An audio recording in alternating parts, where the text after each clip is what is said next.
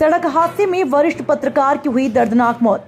रायबरेली में सड़क हादसे में बाइक सवार वरिष्ठ पत्रकार की हुई दर्दनाक मौत। पत्रकार की मौत से पूरे ज़िले में शोक की लहर है। मामला भदोखर थाना क्षेत्र के अंतर्गत परमानपुर गाँव के पास का, जहाँ सड़क पर बिल्डिंग मटेरियल पड़ा हुआ था जिसे टकरा कर बाइक सवार वीरेंद्र सिंह, उम्र छाछठ वर्ष, अपनी मोटरसाइकिल लेकर वहीं गिर पड़े। बाइक से गिरने के कारण उनके सिर पर गहरे जख्म हो गए, जिनको इलाज के लिए जिला अस्पताल लाया गया, लेकिन तब तक उनकी मौत हो चुकी थी। वीरेंद्र सिंह की मौत के की वजह से पूरे ज़िले के पत्रकारों में शोक की लहर दौड़ गई। वहीं सूचना पर पहुँची पुलिस ने अप, शव को अपने कब्जे में लेकर पोस्टमार्टम के लिए भेजा और आगे की विधिक कार्रवाई शुरू की। भैया नाम और परिचय बता दीजिए। ना हमारा जगदीश बहादुर थे जी। ग्राम परमानपुर हम्म। पोस्ट मेजरगंज कैसे क्या हुआ था यहाँ दुर्घटना? मोटरसाइकिल से दूल्हागंज की तरफ़ से आ रहे थे। जी। मसाला पड़ा हुआ था उसी मसाले पर उनकी गाड़ी गिर गए।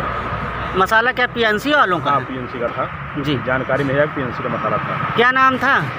जो चोटिल लोग सिंह निवासी कहाँ के हैं? पीतम्बरपुर डॉक्टर साहब क्या परिचय? Doctor Anurag Shukla EMO district hospital doctor साहब एक्सीडेंट का मामला है क्या है मामला? ये हमारे पास एक वीरेंद्र सिंह के युवक जिनकी उम्र तकरीबन सिक्सटी सेवन ईयर्स है मृत अवस्था में परिजनों द्वारा लिया गया जाँच के दौरान मृत अवस्था पाएगी बॉडी को मर्सिटी में रखकर पुलिस को इन्फॉर्म कर दिया